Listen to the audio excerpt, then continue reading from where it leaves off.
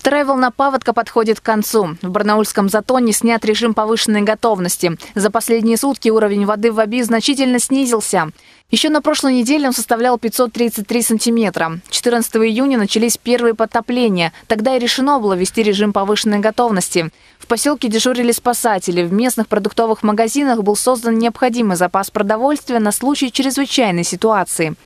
За время второй волны паводка в Затоне затопило шесть улиц. Люди передвигались только в резиновых сапогах. На утро сегодняшнего дня уровень воды составил 469 сантиметров над нулевой отметкой водомерного поста. За сутки вода убыла на 22 сантиметра.